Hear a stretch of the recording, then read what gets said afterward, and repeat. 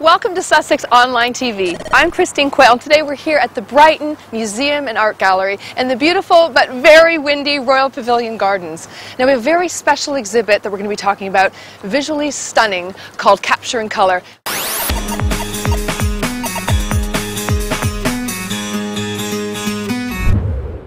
I'm here with Sarah and we're on our way up to the current exhibit, Capturing Colour, in these magnificent halls here at the museum. Uh, Sarah, did you want to tell us a little bit more about what the museum does and has to offer? Absolutely. The museum was developed in 1873 as a museum for Brighton. It underwent a major refurbishment in 2002, so all the galleries that you see today are new from that time. Uh, we've got a real mix of collections here. Many of them are recognised as being of national, if not international, significance, mm. including the decorative art material that you see here in this 20th century gallery. In the rest of the museum, we've got local history, ceramics, world art, paintings, drawings, um, and costume. And our newest galleries are our ancient Egypt galleries, which are proving really popular with visitors, particularly families and school kids who are studying ancient Egypt as part of the primary school curriculum. And also, I know you have a lot of uh, events that happen throughout the year. We do. We've got a really lively programme.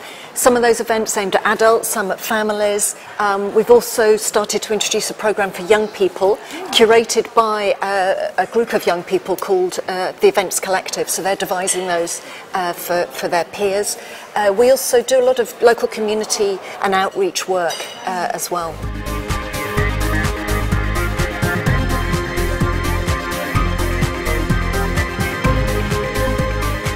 Fiona. Hi Christine. I've just been wandering around this beautiful exhibit and just wondering if you could tell our viewers what is so exciting about capturing colour. Today we take the moving image for granted and uh, because we're saturated with it. So it, this documents the journey uh, and the technology and the innovation of actually searching for uh, coloured film. This is the early part of the story with stereoscopes and still images And we have some Fenningers here. Um, these are very early photographs taken on Brighton Beach, and they're actually staged, so they do look a little bit like paintings. And, uh, but these work on the same principle, but it was much harder to, to move that onto moving image. And this is the next stage of capturing colour, where the pioneers attempted to, to put the colour directly onto the film strip.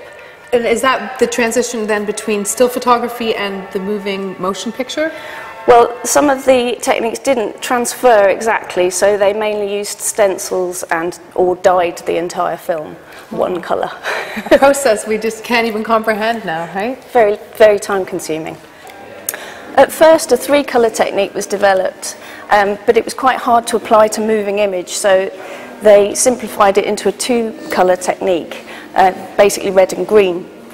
And this is where our local story starts in earnest because George Albert Smith was a pioneer of Kinemacolor, which became internationally renowned and was a fantastic world leader of colour uh, cinematography.